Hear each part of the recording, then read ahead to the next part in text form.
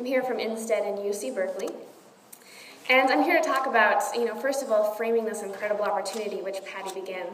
Um, not long ago, uh, the idea that everyone would have a cell phone was, seemed really far-fetched, and in fact, cell phones were a reality only for the most wealthy and powerful people in the world. When the first cell phone came out in 1973, um, it was a foot long, two pounds, and it was $4,000, which in 2012 dollars is about $50,000. Just kidding. Uh, today's cell phones have reached uh, people across the world at penetration rates that no one would have imagined. And out of uh, about 6 billion people worldwide, 4.5 billion are cell phone, cell phone users. Many people have called it the most prolific consumer device in the history of humanity. What an incredible statement, an incredible opportunity for all of us. Cell phone subscriptions are growing, and they do dozens of things. All of us in this room have one. We use it for everything in our lives. Even this very simple Nokia that you see here is an alarm clock, a calendar, it uh, is a music player, it's a web browser, it's a camera, it's an answering service, it's a wallet, it's a map, um, and you call people on it. The possibilities are extremely exciting, and this opportunity is something that we hope to take advantage of um, for HIV prevention and treatment.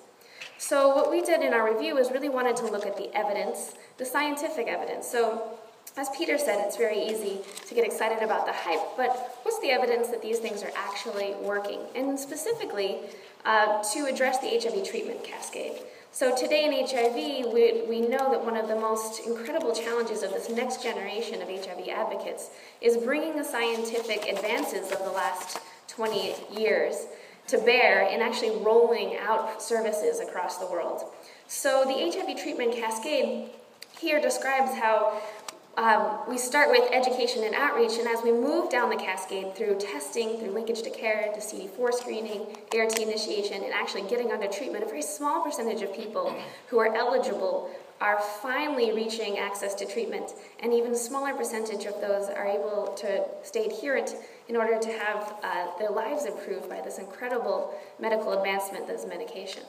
So as we're beginning to implement these things, we find that it's a really exciting moment in, in this generation where we get to look at, at meeting the needs of 33 million people and finding treatment for them. When the rubber hits the pavement for mHealth, how can these tools help these numbers and how, uh, how can they improve the, the treatment cascade? So in order to answer this question, we pulled together a team of several people, including many people in this room, um, and uh, we used the social uh, library software Mendeley to review thousands of articles across the literature. Um, we pulled together literature from medicine, from global health, from engineering, from global development.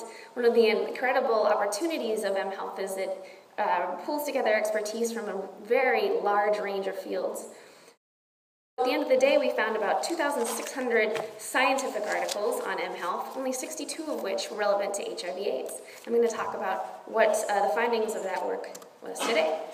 So within the HIV/AIDS literature, we find that uh, the majority of the, of the articles, uh, or the majority of the projects that are being described in the literature, which just to frame it, are, is only actually a small amount of what's actually happening in the world. But uh, the majority of the projects took place in Africa, about 29% of them. Uh, fewer in North America, and then Latin America and Asia. Uh, the, most of the projects took place in urban locations, about 74% of the projects, and also rural locations, meaning that they have been deployed in uh, places rural and urban across the world. The vast majority of them provided services for people living with HIV. Um, a smaller percentage provided services to what they call a general population. So, for example, any patient that comes into your STI clinic, or um, people in general that might be interested in receiving uh, updating, updated texts on information about HIV/AIDS. A smaller number of provided services uh, to providers and youth, and less than 5% of the literature describes providing services to the most vulnerable communities uh, sex workers, men who have sex with men, and those um, communities that we know are most impacted by, the, by um, HIV and the epidemic. So how does this apply to the treatment cascade? For, so for those of us who are in the field running programs, hoping to make these advancements mean a difference in people's lives, today um, we looked at the literature across this cascade and we looked at for examples of how uh, mHealth could facilitate increasing the number of people who can access these different essential services. And we assessed each, um, each piece of evidence for these main traits. We looked at whether or not, um, at the end of the day, this exciting tool of mHealth actually resulted in some kind of behavior change, actually resulted in some sort of health outcome. And we wanted to look at research strength, research rigor. We were interested in both qualitative and quantitative findings and feel that both are very essential actually to understanding how mHealth works in the field. Um, so what we wanted to find is, uh, do they make valid assertions based on what kinds of methods they use? Did they have methods? And a lot of times in this field, we hear a lot of descriptions of projects, but not really a rigorous look using any kind of methodological approach at all. Did they uh, direct services towards the most vulnerable communities? Uh, were they mid, medium or long-term initiatives? Do they have something to say about whether these things work beyond a pilot? Um, and the study location, did it take place in a low-resource setting? So I'm not going to have a lot of time to describe each one of the, these areas of research, but you'll see a little uh, report card at the bottom of each slide, and uh, the, the, the more checks you see, the better. So starting with HIV outreach, we found that there are two areas of research that have most impacted um, or most improved HIV outreach and education. The first is youth educational messages via SMS, and you'll hear a lot about this at this conference. Um, I saw several posters. It's an exciting opportunity um, there, are, there, are several studies that point out that SMS sent, uh, using SMS to send messages to youth um, have been effective, that youth find it uh, they find it an acceptable way to receive sexual health information and uh, referrals to clinics. Um, that large communities of young people, primarily in the, um, the wealthiest countries, have been able to access health services using, these, um, using SMS in this way. Secondly, a series of projects have used mobile health uh, devices in patient waiting rooms to make uh, HIV educational videos available to people. These have been used all around the world and have found that they can increase the uh, people's knowledge of HIV um, as they're sitting in the patient waiting room. However, very few of these have gone on to find that that level of education being increased, say either through educational SMS to youth or through patient videos, very few, if any, studies have found that this actually makes an impact in people getting tested, or changing their behaviors. So the next major step along this treatment cascade is getting people tested and, count, and having them access voluntary testing and counseling. Um, we found only one piece of evidence around this, and that was actually a very innovative project in South Africa um, that used an HIV surveillance project to go door to door collecting rapid samples. Usually, surveillance is disconnected from voluntary testing and counseling for a lot of reasons, most of all because during surveillance, they're not providing people with the wraparound services that they need, particularly uh, the, the counseling aspect.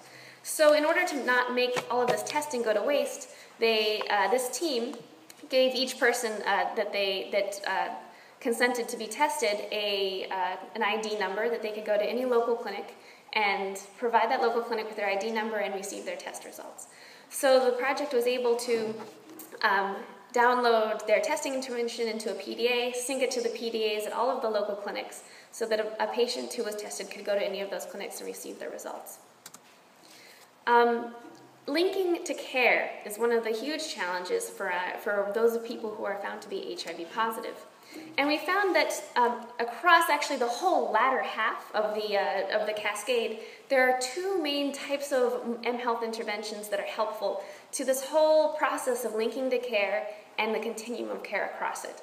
So the first are, are those um, mHealth tools that support community health workers. And I'm so glad that we had a chance to hear about one of them um, from, the, uh, from Peter. Um, the community health worker tools have been found to be very, very uh, acceptable, useful, and, and facilitating of community health worker services worldwide, and particularly in underserved communities.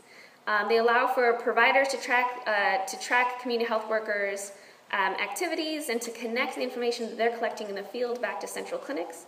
Um, they allowed community health workers to track complex regimens, to connect to, to, other providers for support when they weren't quite sure how to support uh, people living with HIV in the best possible way, and particularly to um, support community health workers around ART adherence. Um, one thing that you've heard a lot about from Patty is uh, appointment reminders, and appointments, just getting to your appointment is an essential part of any kind of um, chronic care service, and that's similar in every country around the world, from high income places to low income places. SMS appointment reminders, a very simple text message saying, don't forget your appointment, has been found to be successful everyone from, from uh, Switzerland to Uganda. Um, and they improves appointment adherence and significantly reduces loss to follow-up across all of the services that someone needs to be able to access, starting with when they find out they're HIV positive, all the way to adherence. Um, finally, probably the strongest evidence in, in, um, for HIV and mHealth is around just treatment adherence. And as you see, this is just one aspect of an entire regimen of health services that need to be provided in country, but it's an extremely important one in the lifelong process. So within treatment adherence, there are two areas of evidence that are success, that of, of success. One is um, ART adherence reminders to people living with HIV. Um, two major clinical trials, randomized clinical trials, both in Kenya, have found that short weekly SMS are, uh, are effective. We saw a couple of posters that, that um, had differing, here at this uh, conference, that had differing results, finding that daily musical reminders, for example, among Mayan uh, non-literate populations, were effective in reminding people to take their meds. Um, a lot of people who are uh, on lifelong antiretrovirals are not literate, so finding ways to communicate uh, not just through text message, but through voice is an extremely powerful opportunity. And why not? It's a cell phone. That's how people use it all the time. So another really exciting, I think, and innovative possibility is using the mapping devices on cell phones. And very few mHealth HIV projects use the geospatial um, possibilities of the cell phones. And one, uh, one exciting piece of evidence found that a, you know, a study around facilitating, facilitating tuberculosis care around uh, among people living with HIV found that one of the biggest challenges for health workers is actually locating patients, especially in slums and um, in extremely densely populated areas. So by using the GPS devices in your cell phone, uh, community health workers were able to find patients more often and much more quickly. So ultimately, what happens when the rubber hits the pavement in the, in the last 10 years of mHealth? Does it help? And we find that in the beginning of this continuum, unclear, even though it's incredibly possible to use cell phones to do massive HIV education campaigns, there's no indication that this is being, there's no good evidence that this is being effective. In fact, it was exciting to hear some of Peter's work because it seems as if he, he has some evidence that wasn't, um, that isn't yet a part of this body of research. Um, HIV testing and counseling is an essential part of the work that we do, and we can't provide any of these services until people know they're positive. So these services, that's very, the evidence is very unclear in that area. Um, more, uh, more evidence suggests that, it, that it'll be useful for linkage to care and CD4 screening, but the strongest evidence is at the latter end of this, this uh, cascade. So what really works? Um, ultimately, there's a big uh, divide between what we know from the scientific research and what people are practicing in the field. And what we find is that these things, these factors seem to be indicated over and over again across projects, both those reported and those unreported, um, in being successful. One, engaging local leadership. mHealth seems to have carried on an almost ancient um, neo-colonial mode of development, and we're bringing back the fly-in, fly-out uh, style of development through mHealth, where an outside expert comes to a community drops off their package and then leaves. Um, maybe they graduate from their PhD program and never come back. Um, so uh, one of the extraordinary leaps that we could take in mHealth is local development, local capacity building among uh, developers and designers who can um, bring those skills in country. Engaging end users in the process of development can help us to make sure that, it, that these tools are directly meeting the needs of community health workers and not just the people who pay for the, those to, for the tools to be developed, such as ministries of health or researchers.